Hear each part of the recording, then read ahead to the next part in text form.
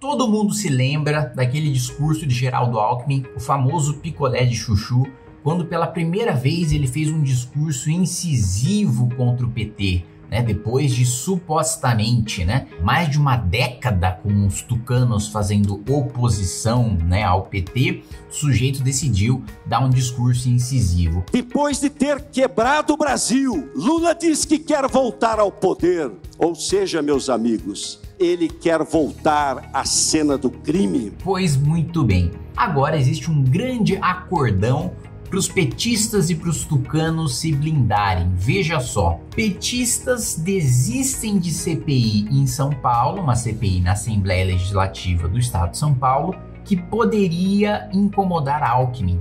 Deputados do PT na Alesp, Assembleia Legislativa do Estado de São Paulo, desistiram de uma CPI para investigar denúncias contra a extinta Dersa, o que poderia incomodar, incomodar, né? Ou seja, encontrar alguma coisa na investigação que envolvesse corrupção, desvio de dinheiro, lavagem de dinheiro, corrupção ativa, corrupção passiva, concussão, peculato, incomodar, né? Às vezes a imprensa também é difícil, né?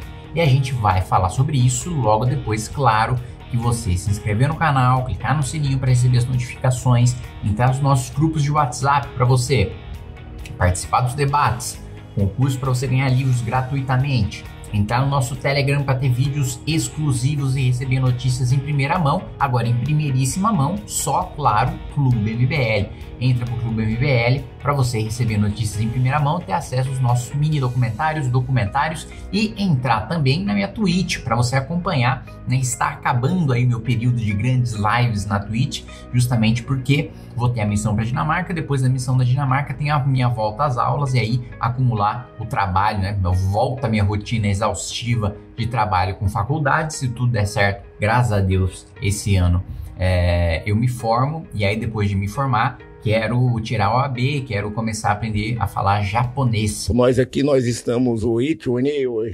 chegou Rokuriti, Ratikyu. Então veja só, os petistas, né, os deputados estaduais petistas, vinham tentando instalar uma CPI para investigar os contratos dessa empresa estatal que estava sob o controle de Geraldo Alckmin desde 2019. Em 2022, a CPI chegou a ser criada, mas não teve quórum suficiente, porque a maior parte dos deputados estaduais eram ou tucanos ou governistas e por isso não sequer apareciam nas reuniões da CPI, né? Ou seja, você teve o número de assinaturas necessárias coletadas para você instalar a CPI.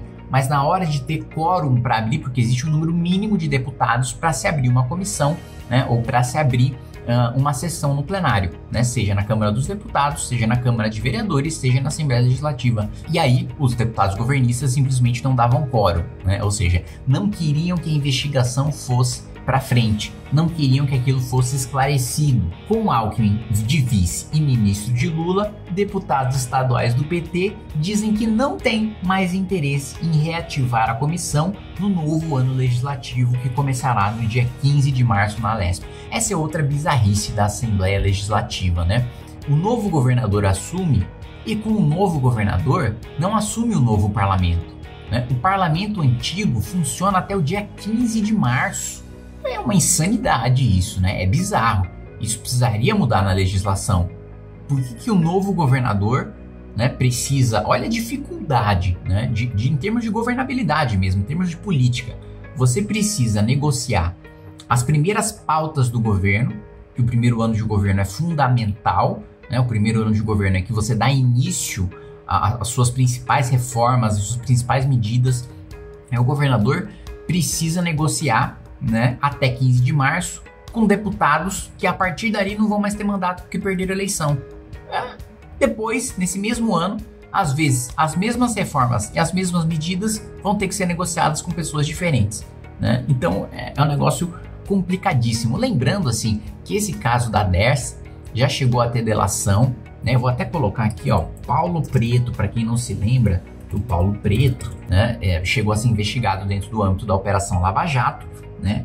E foi delatado, né? Um delator chegou a dizer que ele guardava 100 milhões de reais dentro de um bunker. E o Paulo Preto estava diretamente ligado à DERS, empresa estatal que estava sob o governo de Geraldo Alckmin, né? Ou seja, os petistas agora pararam de falar no propinoduto tucano, né, no mensalão tucano, que ocorriam em âmbitos enquanto o PT estava fazendo a roubalheira em âmbito nacional, enquanto o governo petista estava sendo corrupto e quadrilheiro no âmbito nacional, né, governos tucanos estaduais também tinham seus escândalos de corrupção, tinham os seus mensalinhos, tinham as suas empresas estatais estaduais e tinham sua distribuição de carguinho. Agora, nem o PT investiga o PSDB, nem o PSDB investiga o PT. O PSDB, que aliás, né, a nível federal, está absolutamente destruído. Né? Depois da passagem do Dória, da disputa do Dória com o Eduardo Leite pela, pela presidência da República e tal,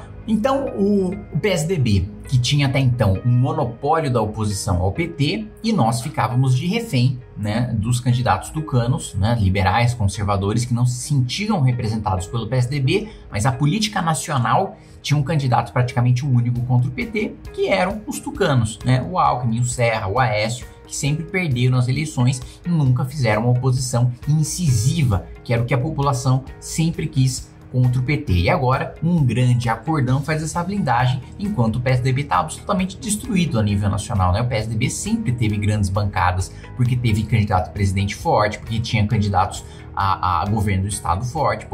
Governaram São Paulo aí praticamente a vida inteira, né? É, tinham sempre uma base forte de governadores, de prefeitos, de vereadores e agora não tem mais essa base. Tem uma debandada geral do PSDB que a gente vai ver com muito mais uh, clareza né, nas eleições, nas próximas eleições municipais. Então você veja a hipocrisia, né? Os blogs sujos do PT já chegaram a fazer uma charge em que colocava uma suástica em Geraldo Alckmin, dizia que Geraldo Alckmin era um nazista que perseguia professores da rede estadual do estado de São Paulo. Né? Dizia que ele mandava bater em professor, mandava prender professor, mandava agredir professor. Agora não, ele é um vice, paz e amor, incólume, não devia ser investigado, não tem escândalo nenhum. Antes tinha denúncia, deputado estadual do PT fazendo denúncia, dizendo que o Alckmin era corrupto, dizendo que o Alckmin era autoritário da tribuna. Agora não. Agora para os petistas é o Alckmin, o paz e amor. Os alquimistas estão chegando, estão chegando os alquimistas. É realmente uma hipocrisia gigantesca por parte dessa gente e é por isso que tem o meu combate incisivo dentro do Congresso Nacional. O capeta já ofereceu seus serviços para você em algum momento? O sentimento de culpa de estar tá gerando um desgaste, porque quem escolheu disputar a eleição, quem escolheu seguir a carreira política fui eu, né? Não foi minha família. Você tem orgulho de ser brasileiro, Kim? Mesmo com esses defeitos? Você acha que você merecia mais reconhecimento pelo seu trabalho? Primeiro, uma sensação muito grande de injustiça, né? Das pessoas me colocarem como colocarem o monarca como nazistas e não tinha absolutamente ninguém defendendo o nazismo. Kim, qual é hoje o seu maior medo? Eu acho que era muito jovem para é, perder o pai. para perder o pai.